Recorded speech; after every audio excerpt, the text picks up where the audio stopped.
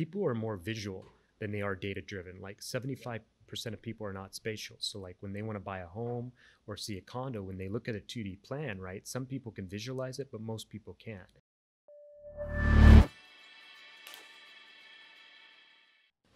Okay, guys, welcome to the BloomX podcast. Um, today we have a great shout out to mention. Um, shout out to MCRO for becoming a continuing sponsor for the for the podcast. So this episode and future episodes is going to be brought to you by MCRO, who enables businesses to grow through handcrafted digital solutions of the future. MCRO is a web and mobile app development studio with a competent, dedicated, and experienced team focused on solving business challenges through fast to market and producing high performance digital products. If you're looking to turn your destructive ideas into reality or have a reliable strategic tech partner to explore options with uh, for your existing work or for new work, reach out to us and we'll make the introduction for MCRO. And you can have the conversation over a coffee or a Boneshaker IPA, your choice. Okay, James, how you doing? Doing great. Good right? day to be alive. Perfect. Um, you're here to talk about 3D cityscapes, right? Um, I, I know you through J- J- Raza. Wow. Raza. I'm losing track of everyone's names today. This is our fourth back-to-back episode. Sorry. Awesome. Right. So Raza, um, I knew him for a long time and bumped into you guys at a booth at um, I think OPN's pitch pitch night, mm-hmm. right? And um, yeah, got a you got a chance to reconnect with Reza and uh, see what what you guys are up to. Really surprised when um, you know I, I saw that uh, what the project Reza was up to because he was doing something completely different before. Yes all right? And we haven't caught up in a while and now he's in a startup and feels like everyone's in startup world now and it's great to see those familiar faces. But uh, with you man uh, you came from a music background and now you're part of like this whole design and programming team here uh, program requirements required here to build this. You just developed on your own right? You taught yourself this? Exactly yeah. So let's backtrack and talk about 3d cityscapes and we'll talk about that journey you took to build this right? So um, what is it? And uh, you have it up running right now, right? It's running off your own computer that you brought in. Yes. What's going on? yeah. Yeah. So exactly a year ago, uh, yeah. Raza and I met in New York, and uh, we had an immediate connection. We just like immediate friendship. Yeah. You know, you meet those people and you just have this energy level. And there's a huge amount of energy level. We mm-hmm. met at a trade show. I was a business development manager mm-hmm. for a company which was doing interactive software, and he was had his own startup company, which he started six months before. So we met and came together. Yeah. And shortly after we both got back to Toronto area, mm. we called each other and we had like a three hour conversation. And our visions lined up so, I mean, it was eerie how much they lined up, right? I started sharing with him the vision of what I wanted to do. And he said he had the same vision. And mm. it was just mm. like magical how this vision lined up. So our, our, whole idea was eventually to use video game technology okay. to create whole interactive cityscapes so that everybody around the world could benefit from having a 3D interactive, hyper realistic experience, right? So imagine before you move to Toronto, let's say you're in China, let's say you're in India, let's say you're in the Middle East and you want to move to Toronto. Imagine you can get on your computer and you could actually walk the streets of Toronto and experience what Toronto is mm. before you come here, right? Okay. Not only that, imagine you have a, a, VR headset. You could slap that VR headset on and actually experience that walking and moving around Toronto so you can experience it, right? Yeah. So that kind of experience, this is what we wanted to give. Immediately after Raza and I started talking, Raza said, Man, I grew up playing Sim City. I'm like, I did too. Yeah. So we both connected on the Sim City level, and that's what we basically wanted to create is a really hyper realistic cityscape so that people could enjoy this experience and walk around, right? And have that experience before coming here. Perfect. Perfect. I mean, nothing's better than when two people are come together and uh, are aligned towards a common uh, purpose. Because, like, when you have when you're bugged by this idea, when you have this vision of uh, what you want to build, when you're an entrepreneur, right? It's really a struggle to get other people to follow you sometimes yes. right? To find co-founders, to find supporters, to find investors, and that that frustration can start lingering um, because you want to so desperately move on your idea or project. You don't necessarily know how, or doesn't have, don't necessarily have the means uh, to be able to find somebody that they can gel with. So you guys both had similar idea. Yes.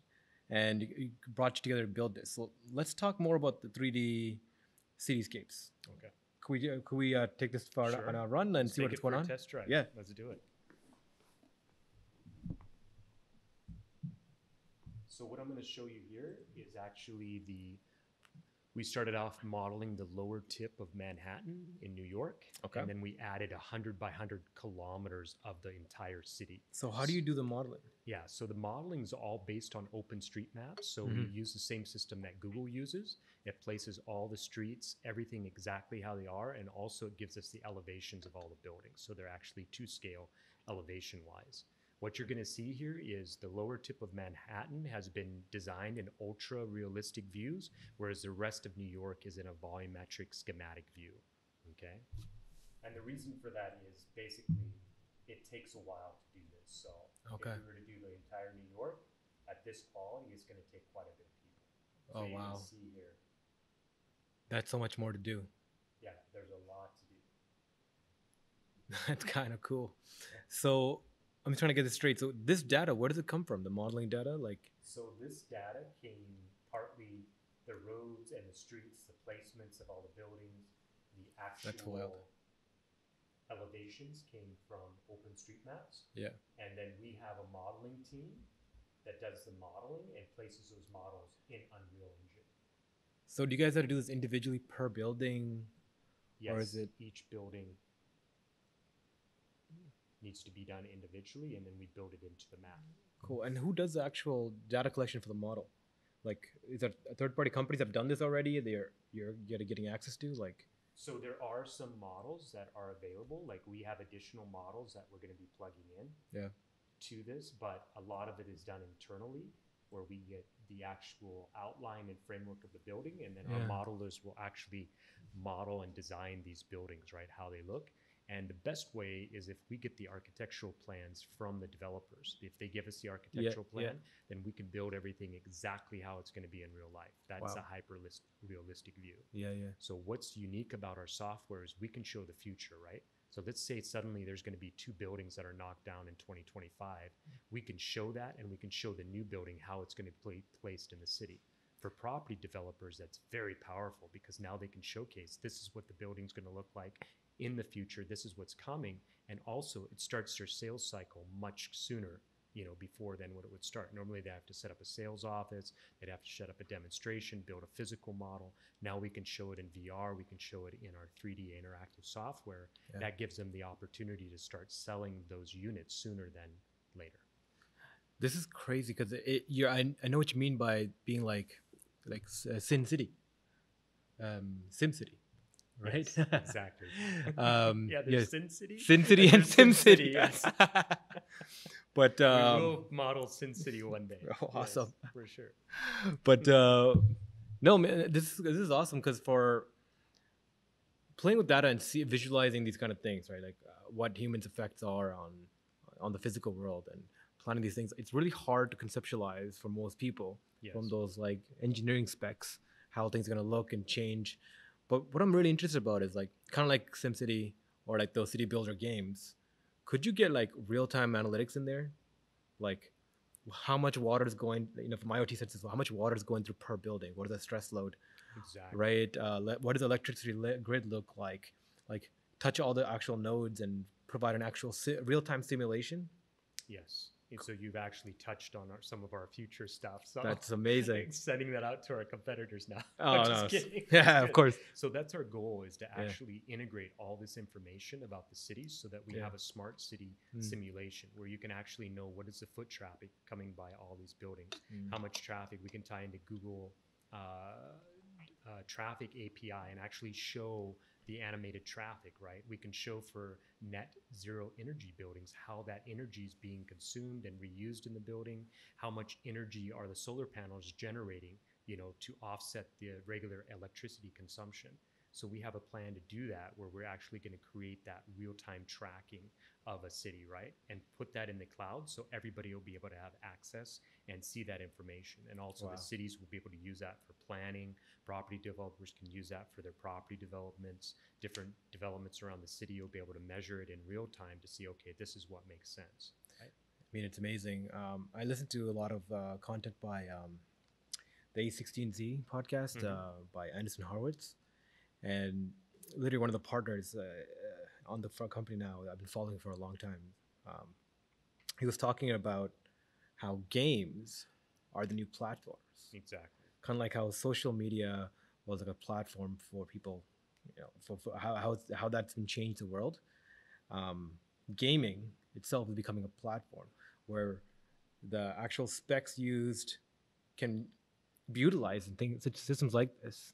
Exactly. Where you're connecting different people. But for you, you're really connecting a lot of data sources in a ways that people can visualize and you know estimate right right off the bat, right? Like, like I always think about that too. Like pl- I, I played the same game, SimCity, Yes. right? Like exactly. city builders, I used to love them. And one of the coolest things is like how easy it was to, to like plan growth and move people around and like part of that fun is like how to create an ideal city. And Yes. you could do that because you got these real time analytics. And growing up, look back and it's like, why can't it be that simple, right? Yes. Exactly. Why can't problems be solved uh, pretty quickly like that? Like you can plan and move forward. That's, so that's really cool.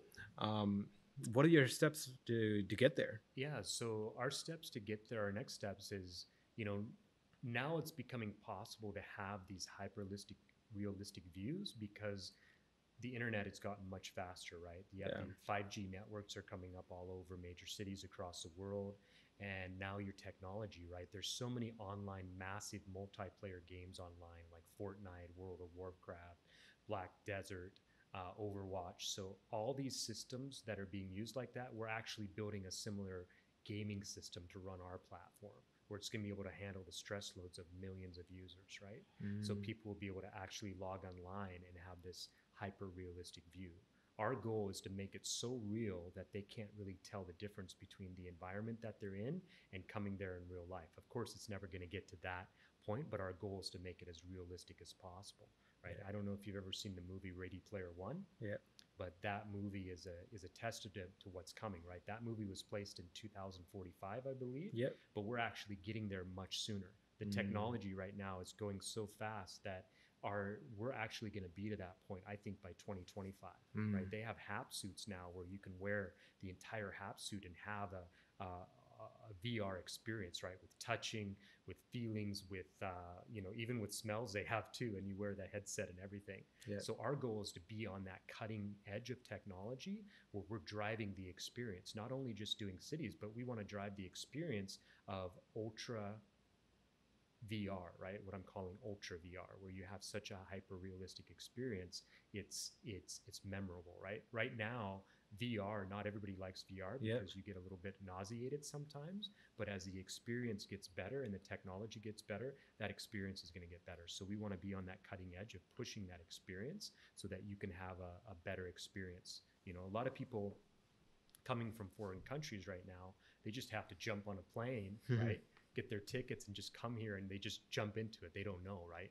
But imagine they could plan everything and actually walk around a city, go into buildings, check out apartments, check out where they want to work, get Buy things. Exactly. Right? Right. Meet people, right? Yeah. Imagine they could meet people that are living in Toronto that are also in this VR cityscape and they could actually meet and interact with people and talk about what do I have to do, right? Imagine how that could help them plan their It's like a it's like a before getting digital layer on top of society Exactly. that just makes things transparent exactly. um, and actually transactable yes. in a way, right? That's uh, that's really cool. Right. So it's like- exciting to be part of that, right? We've we've also talked about creating a mall, yeah. you know, malls where people can get online and actually shop, right? Imagine come shopping in Toronto from all around the world. Yeah, Right. like Amazon, like actually, but like in real life, right? Exactly in 3D, right? Where you're actually The Universal Mall, 3D. Yes. Right, where everything is there that you can see. That's that's ambitious plan. Yeah. That's really cool. Yeah. Um, so uh, I just want to digest that, right? So with VR, like something you touched upon, like VR right now, it's being a lot of hype. It's getting a renaissance, but like yes. the concept of virtual reality and those headsets and has been around since the, since like almost the 60s yes. right it's been going through about i think like seven iterations of where the hype has grown where people think that the technology is there for actual vr to take off and then it, and then like it busts right and then over a few years every few years it comes keep coming back up into the um, into the mainstream this time around is different because we actually have the hardware capabilities to run these complex environments at least somewhat somewhat good quality Yes. um, so you can actually make them into games and um, AR AR headsets and VR headsets that can like be uh, they can like you can play games with and interact with other people with. But you're thinking in within like the next in, in next five years, the technology be enough that it'll be immersive enough to have an actual virtual reality experience outside of traditional life. Yeah, I I believe it's getting to that point. I mean, there's VR games now like the Elder Scrolls, right? I Yeah. download it, and the great, thing about this is Yeah. I have to test all these Nice. games, right? Get This that of my excuse, right? job. Yeah. it is a good excuse. So I get to test all these, you know, Yeah. these things. Are, are you I- a gamer? Do you play well, games? when? I was a kid, that was when I was 12 years old. I used to play these role-playing games Mhm. um, on the PC, right? I had an old 33 megahertz yeah. uh, DC uh, computer, Mhm. and I used to play like King's Quest, Quest for Glory, all these different games, right? When the first Myst came out, I don't remember remember that, Okay. but I actually wanted to design computer games when I was younger, Mm. and it's just crazy that it's all came back. That I'm Yeah. actually I'm actually doing programming in Unreal Engine 4 now and helping you know design and give guidance to the designs of these cityscapes and buildings. So it's exciting to be part of that, right? It's very exciting, and playing the games, seeing where it's at now, it would be amazed, right? I could show I could show you four or five applications in VR where you just you wouldn't want to stop playing. It's so immersive and so it, the experience is so good. That's what I know that that next step is coming over the next five years, where a lot more people are going to invest in VR because it's getting to that next level. for Yeah. sure. Greater technology is becoming cheaper, right? So They actually have eye placements in the in the some of these VR headsets where they can track your eyes. So let's say you go into a unit, right, a new apartment that's being built, and you end up looking at the floor 55% of the time. It actually tells on the back end this person looked at the oak flooring 54.4% of the time. He looked at the kitchen cabinets 17.6. Whoa. He looked at the countertops 16.8 and he looked at the bathroom and the kitchen 8% and the bedrooms 10%. They Yeah, yeah, actually yeah. tracks your eye movement. So technology's gotten to that point now. Yeah, yeah, yeah, yeah. So if, when you're interacting in these VR en- environments, it knows not just what you're looking at, but but use that like um, tactically. You know, that information we use tactically by an organization for understanding what's going on in that environment. Yes, Right. exactly. Whether you're interested in that, or maybe something that needs to be fixed or a flaw, right? Yeah. So Exactly. We've we've had people approach us about HVAC systems, right, or doing Mm. security certification. Right now, people go to a building to certify that the fire extinguishers are done, the HVAC's been tested out, it's all been checked. But when these you know people get there to evaluate it, they have a 2D map, right? It takes them hours sometimes just to figure out where everything's at. So people ask us, can we use your 3D models so that they can actually go in and see exactly where they're at? It'll save them time, right? Yeah. And we said, yeah, this is a great application. We just talked, we're talking to another company that's doing a VR headset program for firefighters. And they're like, Hmm. we need you to build a building where our firefighters go inside and extinguish this fire, right? Because they don't have the capability to build the buildings, but we do. yeah, So yeah. we're talking to them about creating a building where they can go in and fight this fire in VR and actually get that experience without having to go in in real life first, right? Yeah, Kinda gets in definitely. That thing, right, where they test their skills and test their reflexes, test their knowledge of putting out the fire, right? There could be multiple, many, so many case scenarios for Yeah. learning and and discovering in VR. hmm I mean, that's great. I mean, I can definitely see the uh, like the countless applications. Yes. Where are you guys focusing on right now? I know you talked a lot about real estate. Yes. Is that really the market that you're focusing on right now? So what we're doing right now, we have a huge undertaking. Um, we're actually designing the entire GTA. It's actually Mhm. entire Golden Horseshoe. nice. So we have a model right now, which is 200 by 200 kilometers of the entire Golden Horseshoe, and this is where we're first focusing at. We did the New York model first just to show what we're capable of, but we decided let's develop the entire GTA because this is our our home, right? This is our, our background here. So let's develop this area first and let's develop it with the best technology Mhm. and the the most hyper realistic experience. And then our goal is to take that to every major city across the world once we do it here first. It's amazing. So we actually have a base model now of the entire GTA that we're starting to work with. It's amazing. Um, but so uh, yeah, I see the data applications of this, right? When you get more and more data, and you can get upload this and create these more and more fanciful models. Because with like a gaming engine like this, this Unreal Engine Four, you said Exactly. it's running for like it can do a lot of things like like f- fluid mechanics and all that, right? Understanding how things move in a VR world, like you can you can actually figure out how air will flow in HVAC systems. So exactly right, like you're this is not just like a virtual world to, to see how things will look like, but can actually test real world functionality. Yes. Right. How better to like distribute heat within an environment, or uh, put air pump air fresh air through an environment, yes. or and there's actually, I'll give you an example. So mm-hmm. one of our first uh, contracts is with the city of Pickering, mm-hmm. and city of Pickering, as you maybe may know, is developing mm-hmm. very quickly. So we're yeah. actually modeling um, three major buildings. I mean, they're going to be the tallest, one of the tallest buildings in Pickering. Okay. And we're developing their city center core area, right? It's a big city block of where all these developments are happening. But after that, we're also been talking with them about the international airport. There's been an international airport proposed for out in Pickering. Yeah. And so we're going to be actually able to develop that in 3D. We could show the sound, right? Like how's the sound of those planes going to affect mm. the neighborhood, right? Yeah. You can actually see it. You could travel as the planes come in and actually hear the sound at those different areas and check how is that sound going to impact the neighborhood? What do you have to do to put sound barriers, right? How's the economy going to be affected by this international airport? How many jobs is it going to bring to the local area? That's and how amazing. much income is it going to bring to Pickering, right, as a city into that area? How much is it going to help with the load of all the international travel that's happening at Toronto Pearson, right? How much are they going to be able to use that airport? So there's so many different applications, right? There they have is. a hospital that they want to put up in the future as well. So we'll be able to model a hospital and show how that's going to impact the area, how it's going to help out, how these people are going to have access to a faster, you know, ambulance. If that ambulance comes to this hospital, we can show all those effects. They also have a tour bus, right? They have a tour they're starting. They want us to show how the tour bus is going to take people around the city and how it picks them up and showcases all the, the citizens, all the different things that are happening around Pickering. So we actually can show that in virtual reality. Yeah. So it gets them excited to have come in and have the real experience, right? It's all about driving the real experience. And not just that, like I just took in like as you can give as the city's gonna be putting up more and more IoT sensors and the environments, um, they're already looking into like what needs to be done for autonomous driving functionality. As those sensors go online, you can literally have 3D mappings of real-time sensory data. Exactly traffic flows and uh, how it, traffic is moving, pedestrians crossing, all this kind of information can be now virtualized, and and you can like plan according to that. But exactly, like as a population, we're you know this in North America, this is the fastest growing area in North America in the Golden Horseshoe, right? Yeah.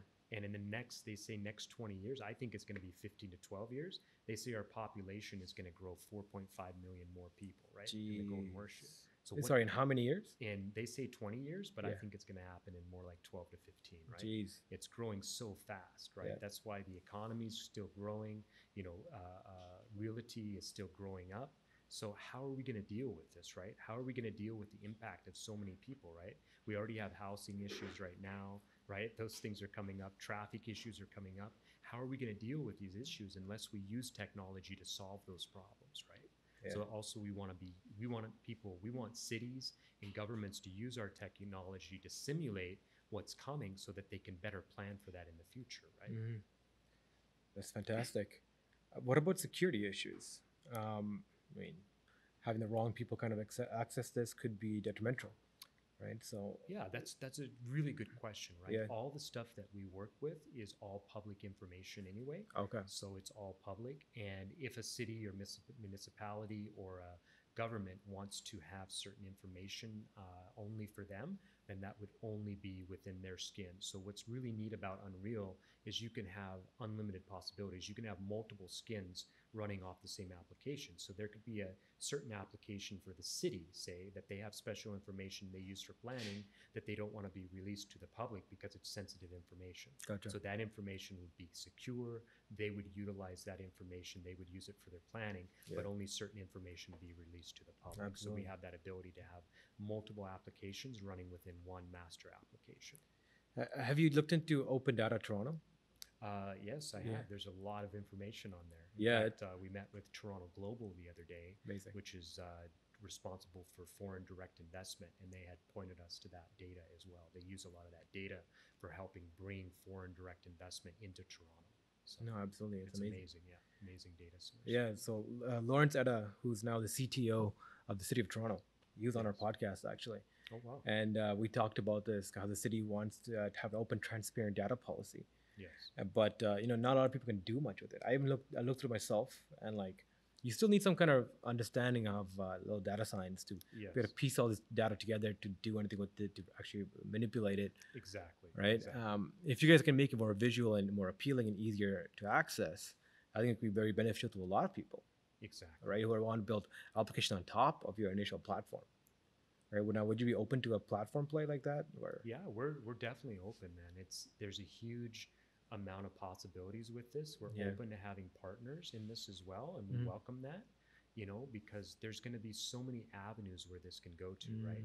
Like people have even asked us for video games. Oh, can we use your Toronto model? You know, can we run like a Fortnite Toronto or Overwatch Toronto or whatever? And we're like, and how easy is that to do? yeah, it's not difficult once you have the 3D models in place, Yeah. especially all of our stuff we're building in 8K, so Yep. it's going to be ready for 8K. Amazing. Uh, it's not difficult to do that, right? yeah. We don't want to get into the video game per se, but we're open to see, right, if it makes sense. So No, absolutely. Uh, But like, what talk about rendering? I mean, it's got to if you're rendering an 8K, a fully dynamic model like this, I mean, it's got to take a serious uh, computing, right? it does, yeah, it does. Fortunately, what we're doing is Yeah. like most multi-online player games now is they create a settings interface. So depending on what you're working with, if it's if it's your phone or a tablet or a regular laptop or a full-blown gaming laptop like we brought here today, then your graphics will be you know Mhm. rendered based upon your machine.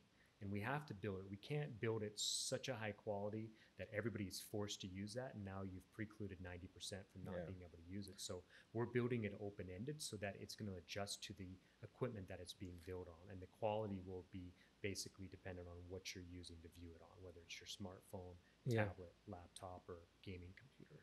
Well, have you looked into like um, cloud uh, computing, like uh, running it yourselves, right? Rendering everything yourselves, and Yeah. people just access it depending on the bandwidth of their connection. Exactly. Connection speed? So Google Stadia, right? a Stadia is amazing, yeah. platform that's you know coming out. There's some great offers too. I've already pre-signed up. Oh, yeah? check it out. Yeah. So this could go on Stadia. It could. It could. It just it depends because right now Google Stadia has an individual charge, right? So Yeah. if you want to have Stadia, you have to pay for it, right? And we want to keep this free as much as possible, so people, as many people, will be able to use it as possible. But there is that option to put it on like a Stadia platform or other platforms because the cloud storage is so cheap now, right, to run it. Yeah. And now you can run super gaming computers in the cloud and it's affordable. So that definitely will be an option for people who want to have the most realistic, you know, hyper experience possible. hmm For sure. You know, definitely. Like Stadia has been a project I've been watching for a long time. Like Yeah. for anyone that's unfamiliar, it's like a gaming um, platform developed by Google. It's coming out coming out soon, Exactly. where you can run like full HD graphics, like compu- uh, computing um, games through their remote servers exactly. and through your phone, through any Yeah, device, any really, platform. any platform, any device. They run the the software for you. You're just accessing it. So all you need is um, a strong Wi-Fi signal. You're only limited by your connection, your bandwidth. Exactly. You travel, you go to a hotel, you're staying in Las Vegas or New York or somewhere around the world, you can just access it right there, right? Wherever your good internet connection is, and you can continue your gameplay, right? No, definitely. There's a lot of professional gamers out there now, so it's important to them to have these type of systems in place. So. Right, absolutely. And that's uh, yeah. So, um, what's next for you guys? Like, so you, you guys have paying customers. Do you guys have like this being demoed? Like, what what stage are you guys at? So right now we're yeah we have cities that are paying customers and also property developers and like we said I'm full, I'm Mm. don't mind I'll show you just the beginning of GTA Yeah. let you guys have a sneak preview of that You guys do it. Okay.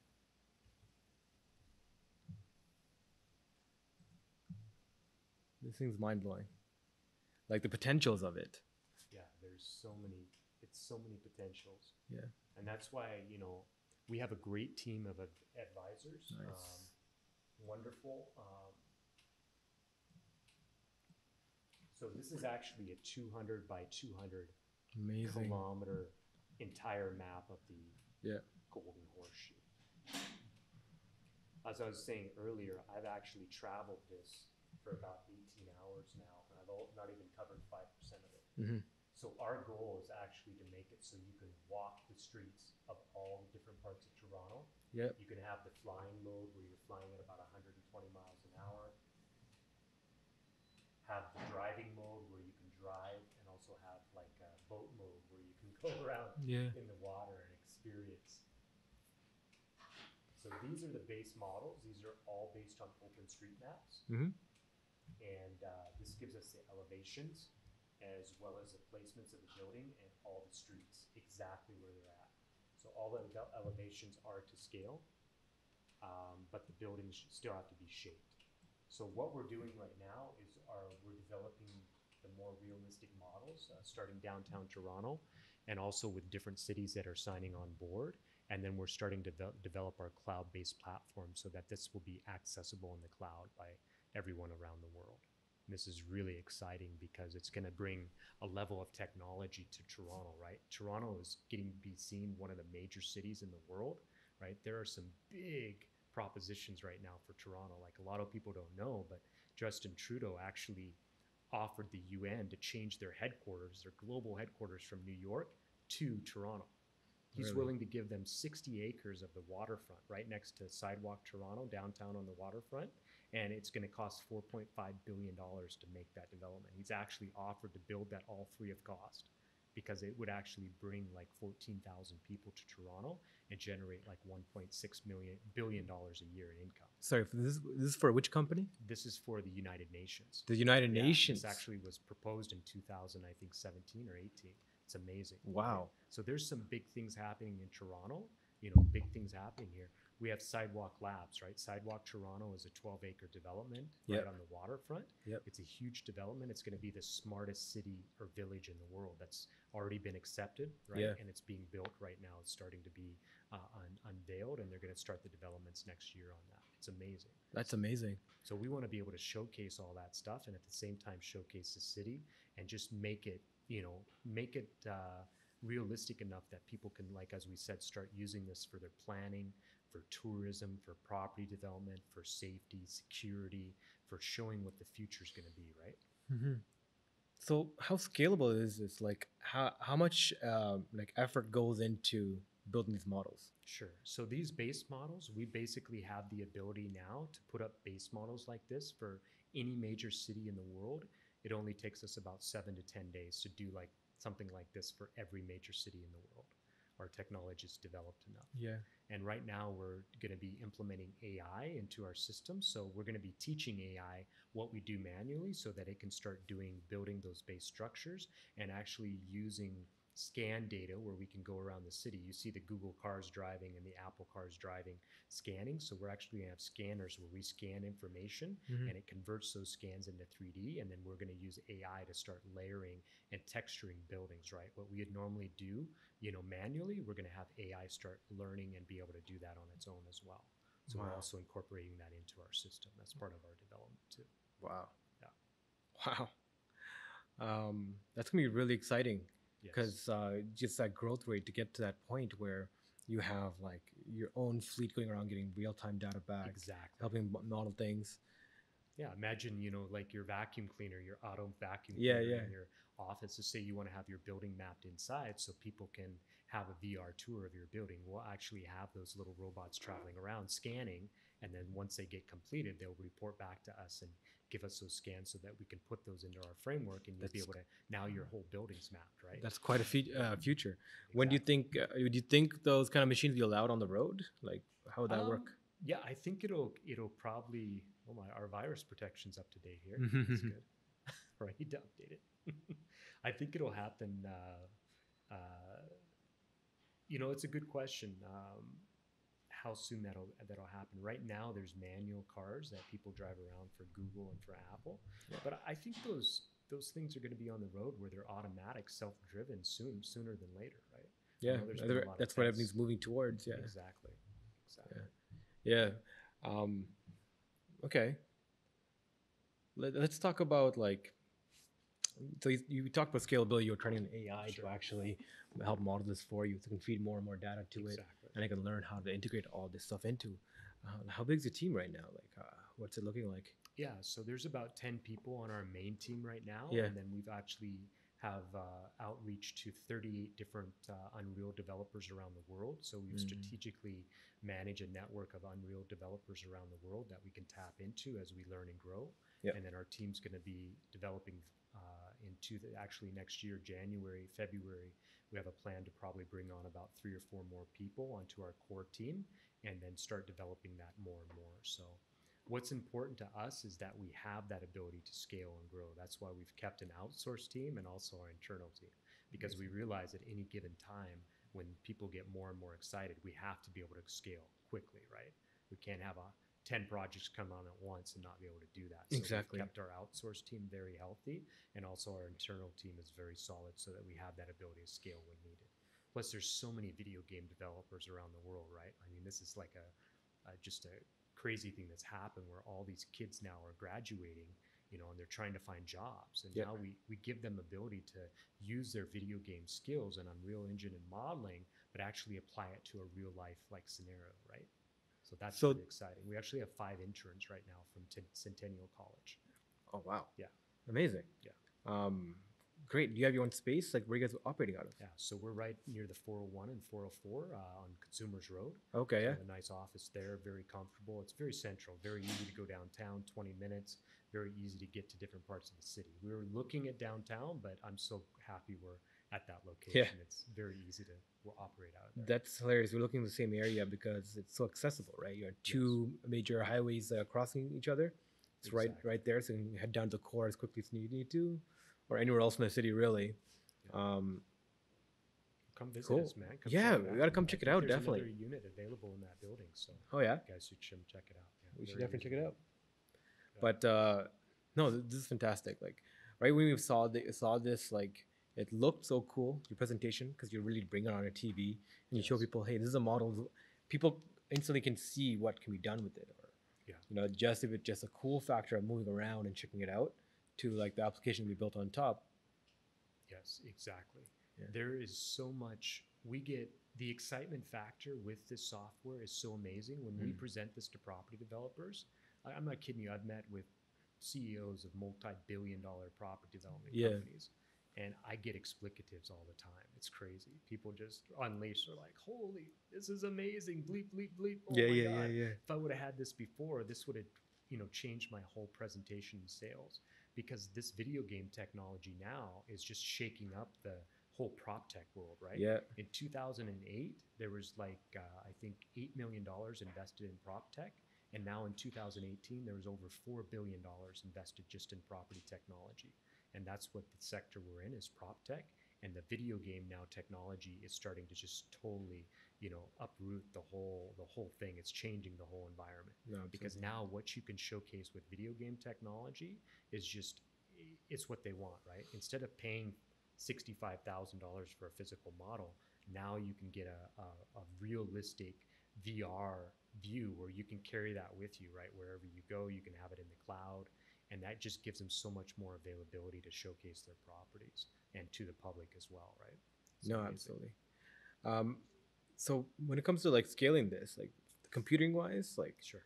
Um, are you guys working with a team? Like, are, are you remote serving it? Like, how do you how do you uh, how do you scale an idea that takes so much computing nowadays? Sure, it's, right. That's a really good Just question. Circling back to before. Yeah. Right. So I'm actually in contact with uh, Unreal Engine, which is owned by Epic Games. Yep. And we've actually applied for a grant. They set aside a hundred million dollars wow. of money, of grant money, free money wow. to people using Unreal Engine to do cool and, and cutting edge stuff. So we actually applied for a million dollar grant from them. Wow. And now we're in the second round of conversations. We're just waiting to hear back from them. And also, I've written to their CEO of Unreal Engine because we're starting that conversation. They've already developed some major games like Fortnite, right? Fortnite yeah. Is one of the major games which has over 150 million users worldwide. So they have the platform. So we want to get advice from them of how we should build our platform to accommodate for millions of users. Likewise, we're part of IBM Venture Labs. We're part of yeah. their accelerator program. We already have a meeting actually next week. It just happened today. I just got a meeting with their chief technology guy for their cloud-based uh, computing system. So we want to go check with them how their cloud-based system, how we might be able to work with that, yeah. so that we can set up that cloud-based system. If they have a good platform for us to use, then that would be a great partnership. Right? So no, we have to accommodate. That's not something we're going to create. We're going to have to work with a partner like IBM or Unreal Engine that already has their platforms, or Amazon or Microsoft, a big company that has a good solid platform in place. Because we don't we want we're building a system for we think millions tens of millions of users eventually. So we have to think about that. You know it's not just creating an application. It's like what's going to happen when there's a thousand people in this environment and it can't handle it it has to be able to self-replicate right yeah just like these other environments they self-replicate and create instances of those applications so you can have thousands and thousands and thousands of people running that same environment at the same time. No, it's great. Yeah. One of the things I um, we hear about now a lot is uh, how the next big search engine is going to be a search engine for AI. Yes. It's going to be a like a, a data search engine, right? So a, a computing system like uh, an artificial intelligence or machine learning software should be able to pull a bunch of data sets as readily available from a certain source and if you guys could become that kind of system, right, where it's like, it's like all this data is compiled together in a visual format as well, exactly. right? People cannot just like access themselves, but ha- actually create their own AI almost or machine learning intelligence software to like map certain things out directly. So if a company is like, okay, we need to find a space, um, you know, in an international city like Amazon to build their HQ right? They can use real world data to figure out what's actually available. Exactly. Right. And where would it look go like an actual like you know a temporary like or like certain designs already pre-made for it, right? All these different com- com- uh, countries can now compete. Uh, companies can now compete on how the layout will work, right? That can happen very quickly exactly. and be deployed very quickly, and man, so many applications. yeah, there's it's it's mind boggling. Yeah, we got to keep ourselves focused because we got to keep money coming in to build the platform. But you're right, it's, yeah. it is mind blowing, right? Yeah. And that's what we see is people are more visual than they are yeah. data driven. Like 75 percent of people are not spatial. So like when they want to buy a home or see a condo, when they look at a 2D plan, right? Some people can visualize it, but most people can't. Mm-hmm. And what we believe is the next step to the internet is having a 3D experience, right? Where you can visually navigate and see things in 3D and interact with it. And just like you're saying, having that data available too. And that's what we want to be part of is creating those 3D experiences, right? Yeah, yeah, yeah. Especially when you have a whole city. Now you can play with the whole city. And I told Raza a year ago today, I said, eventually we're going to be selling virtual real estate, right? Yeah. Because once this system's online and you have millions of people coming to it, then everybody's going to want to have their business in the VR, right? Because you're going to have that foot traffic, mm-hmm. Right? To that. Yeah, the the experience. digital foot foot traffic. Exactly. Yeah, yeah, yeah. No, totally get it, man. But um, so a lot of applications here. Yes, yes. that's night mode. It is. It we actually are. Our developer built this so that it, it constantly is moving timeline. Oh, nice. And then it has the it, it gets a little bit darker here. That's amazing. Yeah. So we have we actually have a seasons pack. We just developed our lead developer just developed a seasons pack so we can show snow falling, rain, wind, leaves falling. We have a whole pack we're building in now too because our goal is to make it like you see these shadows here. Yeah. A big thing with property developers is they have to show shadow fall, right? Yep. And for cities too, right? How is this? No, how accurate is that? It's very accurate, hundred percent accurate. Because you built the model of how the sun is exactly. traveling. So now that's that's what our next step is to implement how the different seasons will impact the shadow fall based on the sun's position in the sky because that changes all year round. So we're building that into our framework so that we can have a hyper realistic experience of that too. Great. Yeah. So yeah, let's touch back on why solving this problem, why a visual da- uh, database that can manipulate it. Um, sure. Where does the idea? Where was it born from? Yes. So the idea was actually born. You know, I'll be re- I'll be honest yep. with you. Um, Raza and I are both part of uh, charitable pursuits. So I've been okay. part of a charitable organization for 16 years. Okay. And Raza's been doing uh, charitable activities. He's actually helped uh, sponsor now thousands and thousands of orphans, along with other people in the Middle East and different areas around the world. That's his passion is to help with orphans, right? Because he, he he does he does not like to see uh, you know orphans in need or lacking somewhere. So he's actually traveling this December um, over to the Middle East part to help with uh, orphans who need school supplies, who need shelter, you know, and support. So we actually big part of our first conversation when we met was our charitable work that we do and that's why we connected so behind the business pursuits we want to build a very big company so that we have a lot of money to do charitable activities as well that's what's behind it Amazing. so we both have a you know the carrot for us as you can say is not only designing a company that can solve uh, uh, you know, solve problems and help people visualize better and help cities develop, but it's to generate this revenue to also help people in need around the world. No, absolutely. That's really what's behind it, and that gives so much energy, right? Uh, because when you know you can allocate some of that money and resources to actually do these charitable projects, it gives you that much more energy to be successful and really focus yourself. I agree completely. I think we're very united in those kind of uh, in that kind of cause yeah. mentality where uh, this is something that I worry about all the time, right? Like we're in such a changing uh, changing society right now where AI and these like for the fourth industrial wave um, is pretty much hitting us. Fourth industrial revolution, right? Yes. And not everyone is benefiting from it because you still have to be within the nations, within have access to technology and um, to be even to be be a player, let alone have the capability to um, develop things uh, to to do these kind of things, right? So yes. the nature of work is changing. The nature of like how people uh, uh, people live and like the living expenses are changing, right? And people are feeling it, yes. right? Uh, like one of the things they like um, I listen to is like how analysts are like developing models, kind of like yours, but more on, on, on, on uh, like more on like a, uh, a numbers basis, right? Like how the mm-hmm. economy is being shaped because of machines changing and stuff, and like a lot of changes happening, but it's not going to benefit the people who need the most. Yes. Exactly. Right. If anything, it is a potential to uh, like technology has a potential to make the rich richer and the poor poor, yes. and be used against people rather than for people. Um, and this has been like the worry about the the change, uh, the, the current space of change right now. Right. Who's actually has access to it? Who's benefiting from it? Yeah. And having a cause aligned like that to help give back to people, I think is super important for any company, for any organization right, to sh- uh, help shorten that gap.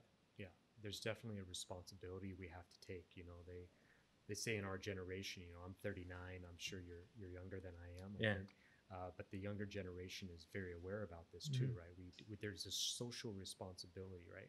Mm-hmm. I mean, in the ocean, right? We have a a, a, a Texas-sized yep you know state like Texas of plastic floating in our ocean. What are we going to do about that, right? How much do we really think about that? Yeah. There's companies like Flow Water that have created a paper Tetra Pak that is 100% recyclable.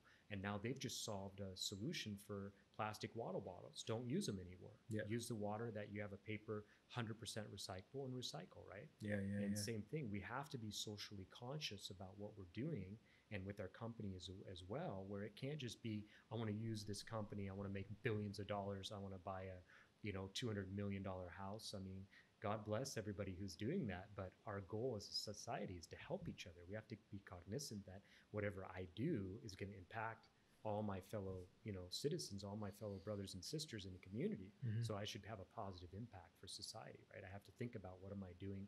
How's that affecting everybody else? And think about the future generations, right? There's been so many things done where we've we've we've done so many things and now we're like, "Oh gosh, carbon emissions, right?" Like I've been to some foreign countries like New Delhi you know, after four hours, you're walking out and you can rub the soot off your hand because they, half the cars don't have catalytic converters. Right? Yeah. So what are we doing to our world? How are we impacting society by, you know, by the choices that we're making with our companies? And it's every day there's choices that we make, right? Is it to be greedy and to, to benefit ourselves, or is it to benefit, you know, society and help people? So we should really think about how we're focusing our, you know, our intentions, right? It's all about intention. Right. I mean, that's very that's very noble. Um, and before we started this, I mean, you talked about this journey you've been in the last like 20 years to like give back and be more mindful of things, right? Um, let's just let's get more into that because that's that's that's sure, interesting, sure. right? As, as, a person, like, so where did all this start from? Like uh, this whole mindset of giving back and providing for people. Uh, like, do you see this as a vehicle more to solve a problem, or a vehicle that can gain some revenue that you can use to solve the problem you want, aka help other people. Yeah. So I truly believe that this idea is, you know, it's something that's it's going to happen whether Raza and I mm. do it ourselves or somebody else. It's just going to happen. Gotcha. It's like the MP3 player. I remember before the MP3 player came out, I had the same idea. It came up in my mind. I was 14 years old and I had this idea, but I, I yeah. didn't know what to do with it. Yep. I realized that there were sound files I, rec- I could record on my computer, a five minute song, and instead of being 50 megabytes like it was on the CD, it was only five megabytes. Yeah. And I thought, wouldn't it be cool if I could carry my computer around and have thousands of songs, right, on a single disc, but I didn't know how to do it. Yeah. It's the same thing. This idea of what's coming we feel that this is an idea that's coming, but it's been given to us to use and to do.